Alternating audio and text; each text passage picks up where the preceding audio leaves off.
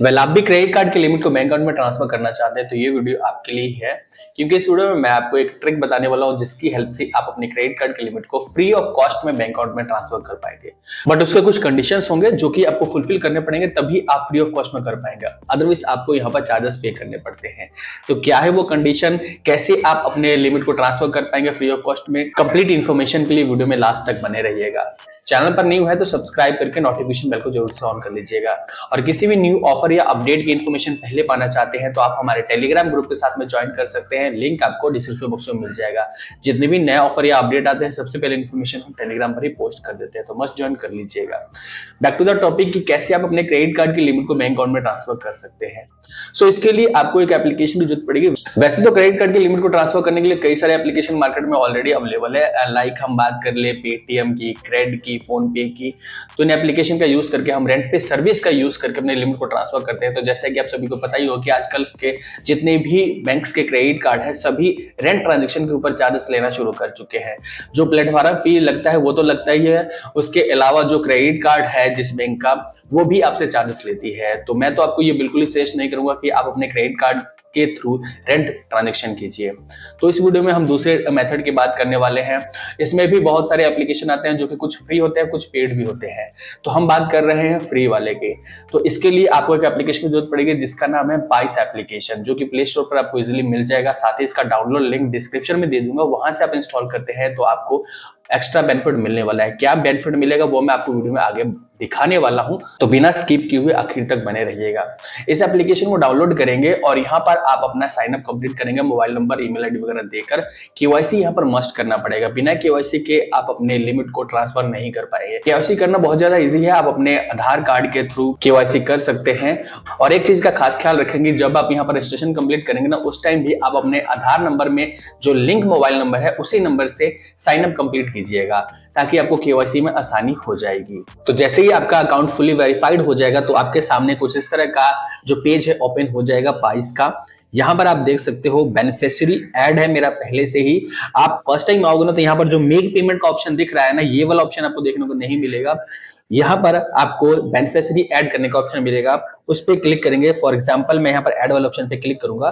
तो account number और IFSC code enter करके यहाँ पर बेनिफिशरी ऐड किया जा सकता है। तो मैंने ऑलरेडी कर रखा है, मैं उसे सिलेक्ट कर लेता हूँ। आप फ़र्स्ट टाइम आओगे तो बेनिफिशरी ऐड कर लीजिएगा।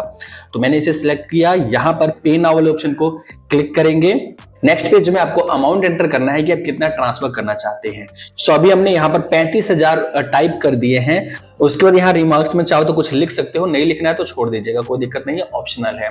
यहाँ टूडे वाले ऑप्शन पे आप क्लिक करेंगे तो यहाँ पर आपके सामने तीन ऑप्शन शो करेंगे, जिसमें है इंस्टेंटली जिसमें सर्विस फ़ी जो है फाइव सिक्सटी का लग रहा है।